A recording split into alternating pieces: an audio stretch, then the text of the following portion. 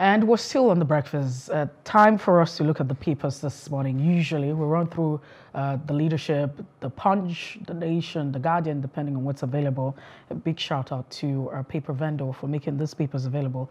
Tunde Kolawole joins us this morning. He's a legal practitioner uh, right here in Lagos. Tunde, it's good to have you join us. How are you doing?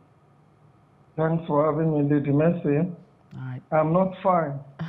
I don't have money to so eat, move around, and do some other very important things. Don't worry. I'm sure money would definitely come. I Okay. hope so. Well, let's let's start off with the leadership. Uh, looking at the leadership newspaper, I think it, it, it correlates with uh, your concerns as to uh, cash crunch. No n- end in sight as President Muhammadu Buhari, governors, CBN keep mum. Silence is going to linger. Federal government fingers opposition parties in Naira swap crisis. CBN won't be used to thwart the 2023 elections or poll. That's what Godwin Emefiele is quoted to say. And Tinubu appeals for calm over fuel and Naira scarcity.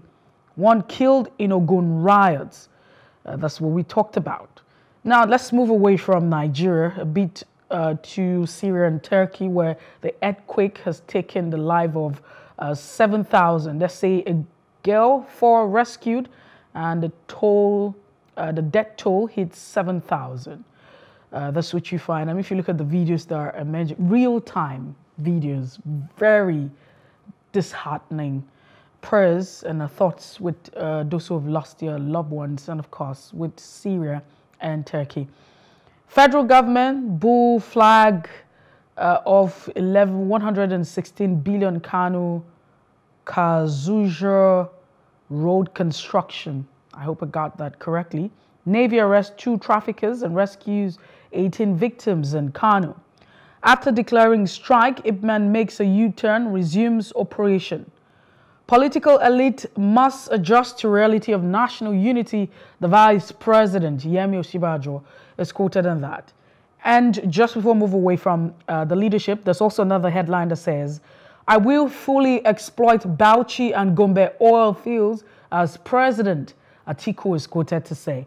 And at a time where you have uh, people, countries of the world, moving away from fossil fuel, at a time where we're not even able to meet up our quota production. However, fingers are crossed. The Nation newspaper is what we're going to be looking at now. Naira scarcity sparks protests. There's also a pictorial representation, you know, to that uh, headline. Benin CBN office, bank branches shot. Uh, there's also that report where a certain bank has been shot across. I mean, how operations has been shot across the entire nation. Uh, but we're really yet to verify and be sure that that's you know actually what it is. Protesters block Benin-Ore Road. Uh, Buhari meets Tambuwal and Emefiele, among others. Uh, that's also another one. Tinubu calls for calm over the cash crunch and petrol scarcity. Court frees Omokore, two firms in $1.6 billion oil uh, fraud case. Well, these are some of the headlines you find this morning on uh, the Nation newspaper. We quickly turn our attention to The Guardian. The Guardian says Buhari cancels meeting with governors as TUC issues ultimatum. The currency exchange saga is, is what's making the rounds on all of the papers this morning, almost all of them. Meets with Buhari, meets with Bagudu, Tambuwal, Emefiele, EFCC boss. Tinubu bankers call for calm. Uh, PDP hoarding of new naira notes causing Nigerians pain. Protests rock Ondo and Ogun. Lagos APC suspends campaign. Uh, you still also have another that says Emefiele can't fund activities of IPOB says group. Wow. Ghanaian star rescued from rubbles after the earthquake. Uh, that footballer, we talked about that yesterday. Wike backtracks, approves the stadium for Atiku's rally. And uh, INEC chairman meets Emefiele, demands concession for election operations. INEC chairman or chair meets Emefiele and demands concession for election operation. uh, you also find that uh, picture more like uh, having a great time. The Punch says Naira crisis may disrupt polls. INEC warns Emefiele and SA, NSA, I beg your pardon. Naira crisis may disrupt polls. INEC warns Emefiele, NSA, as NAS. Some of our service providers have no bank accounts. Commission laments. Buhari governors meet and Shell minister says president's hand tied. Bank shut branches over customers attack. CBN calls for camp. Take that again. Bank shut branches over customers attack and the CBN calls for calm. Well, uh, uh, there are several questions that's been raised as to if this is a right decision. I mean, if it's rational for any bank to short their operations, or maybe we need to look at beefing up security or appealing to the people or, you know, finding a way. But don't you think that this probably might just raise the level of anxiety among the people in the midst of chaos? Well, another header says, fuel price to skyrocket as marketers threaten shut down. Banks ordered to freeze Pakistan terror finances or financiers account and how powerful forces tried to stop Tinubu candidacy. APC vice chairs uh, being vocal on that. Now, Turkey, Syria earthquake that hits 7,146. Very unfortunate incident. Ogun Ondo, Edo protesters storm banks and demand cash. Ekiti owes pensioners 40 billion naira gratuities. Oyebanji is quoted to say, and U.S. indicts Nigeria of stealing varsity's $1.4 million. I take that again. U.S. indicts Nigerian of stealing varsity's $1.4 million. Uh, federal government plans new policy to track public spending. These are the headlines you find this morning on the Punch newspaper. Well, it's time for us to have our guest join us and share his thoughts. Tunde Kolawole is on standby. He joins us via phone. Tunde, once again, thank you for joining us and good morning. Thank you. Thank you. So yes, uh, let's start off with the leadership newspaper. It's the cash crunch. There's no end in sight. As President Muhammad Buhari, governors, including CBN, silent and all of this. What are your thoughts? Well, honestly speaking, it would appear to me that uh, the government of President Muhammadu Buhari and uh, the governor of the Central Bank of Nigeria have no respect whatsoever for the Nigerian people. They treated the Nigerian people with so much contempt, such as has never been seen in the history of our country. I have had cause to visit my bank severally, and what I've seen in those banks and all that is appalling. We are told that it's the banks that are holding the new Naira notes but from what I have seen, most of those banks, I saw that most of the bankers are under tremendous pressure and they really never had enough of these Naira notes to give to their customers. If they had enough Naira notes, new Naira notes to give to their people, I'm not too sure that they will take delight in working under the kind of pressure in which they are working. So furthermore, in some other countries of the world, with the crisis we have in our hands, the Federal Executive Council and all those who will have a role to play in resolving the crisis that we have in our hands will be holding a round-the-clock meeting to find solutions to the problem. But you could see that both the president, the vice president, the governor of CBN, and then the Senate, the House of Reps, the Minister of Finance. Everybody is just uh, standing by and watching Akimbo. This to me is uh, terrible. And uh, crisis has started brewing in some of the states. We have had protests in Benin, we have had in the battle, we have had in Abeokuta, in which uh, people have been shot and killed. So, and the funny aspect of it all we are being told it is certain hoodlums that are uh, trying to attack certain places and what have you. So if you make the naira available, if there is fuel and people can move around easily and conduct their businesses, and if uh, unemployment is not this high, will you be calling your own children hoodlums? I don't know of anybody, no matter how bad the person might be, that will willingly want to kill himself or just expose himself to being shot by the security agencies. I also happened to have passed through uh, Oshodi yesterday, and I saw that soldiers have been deployed all over the place. I saw soldiers under the bridges and some of the strategic locations and what have you.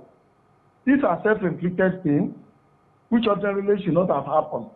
And you must remember that what INEC is saying is the reality.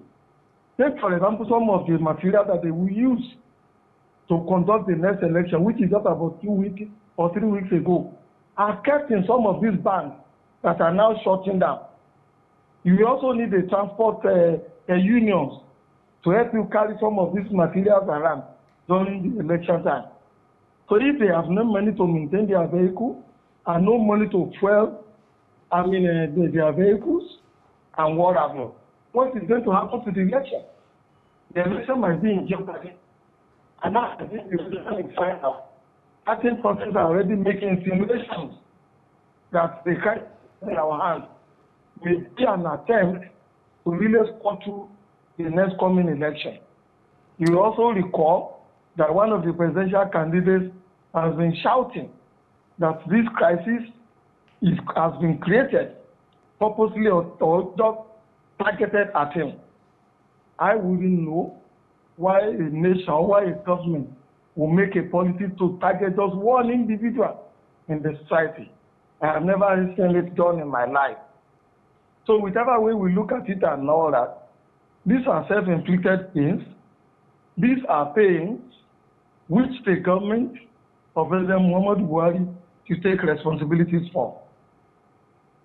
Well, um, underneath that bold headline, uh, there's also thoughts as to the federal government saying that parties are responsible for the Naira swap crisis that we're faced with. I'd like you to, you know, express your thoughts. Does it seem like the federal government is helpless in this case? I mean, if the federal government is in the know that, or they have identified those who are causing this mayhem, what exactly, uh, what exactly stopping the federal government from taking actions? Well, as uh, the accusation that the political parties may be responsible for some of the challenges that we have with regard to enough naira being in, new naira no being in circulation and fuel uh, crisis. I take that with a pinch of uh, salt. Why do I take it with a pinch of salt? That assumes that the political parties and some of these individuals are more powerful than the state. And I don't think so. I don't know of anybody in Nigeria. I don't know of any institution in Nigeria, maybe except the Nigerian army, that is more powerful than the Nigerian state. That if such people commit an infraction, the federal government cannot use a due process to go after them to normalize the situation. Initially, what we were told, especially when the fuel crisis started brewing, was that it is certain marketers that are holding the fuel. From the marketers, they are now talking about political parties, and now talking about so many other things that uh, when you listen to such uh, uh, what they are saying, it's very irritating to the eye, I mean to the mind. It's insulting to the intelligence of the Nigerian people. As regards whether the federal government has the wherewithal to resolve the problem, I should think so. Ordinarily, when you are planning a thing like this, you won't have a very good idea of how much money is in circulation and how much of that money you want to replace with the new naira note and print that quantity of the note that you want to replace. But with what we are saying, I don't think that the CBN and the now have an idea of how much money is in circulation in Nigeria.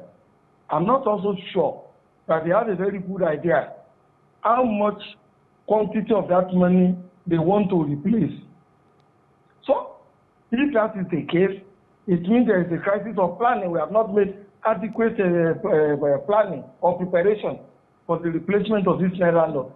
But like I said in one of our programs before, this could be a strategy to reduce the amount of money in circulation and also to fight inflation. And if it is a strategy to fight inflation, I think it is a wrong strategy, a wrong method that they have adopted. But Tunde Kolawole, this, this is yeah. not, you know, news. I mean, that's been put out. It's been very clear, uh, the intention of this policy as to, you know, inflation and what have you. There's several thoughts why uh, you have the redesign Naira note or this policy on board at the time. But um, so we don't dwell too much on this particular issue. Let's move further. The protest that's sparking up or that started in different parts of, you know, the country, for instance, in Ondo State, Ogun State, uh, Edo State, do you think that it's politically motivated or uh, what do you think about it? You mean the crisis we have in those states? The protests that we have, I mean, Nigerians have taken to the streets. That's the report. And yes. uh, apart from that being the report, we have also seen that. We've also, you know, had all of this that's going on in uh, different parts of the country, especially uh, states like Ogun State. You also have uh, Ondo State and Edo State. My question is, do you think that this protest is politically motivated, especially when you juxtapose that with how many months ago, I mean, how, how much of Nigerians have you had taken to the streets? Or, I mean, how many Nigerians have you had going to the streets to protest, uh, you know, the fuel situation and what have you? So do you think that um, this might just be a sponsored protest to cause confusion and mayhem?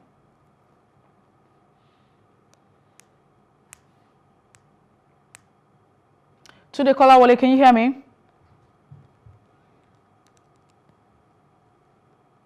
Tunde Kolawole.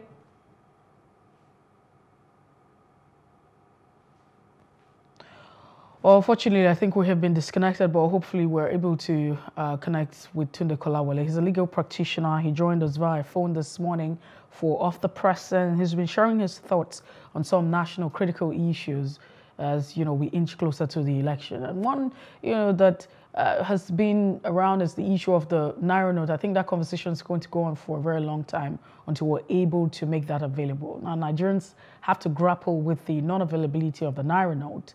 Uh, not even the new or the old. I mean, so we're talking about there's no money. There's no money, whether it's the new or it's the old. And then, you know, the naira has been, uh, you have to buy the naira now. Nigerians are buying the naira with the naira. Prior to this time, you only have to buy the dollar.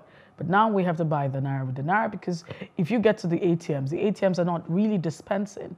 And then you walk to the counter. Some of the banks are not operating. And let's say, uh, for the sake of having, you know, network challenges and what have you, this has been going on.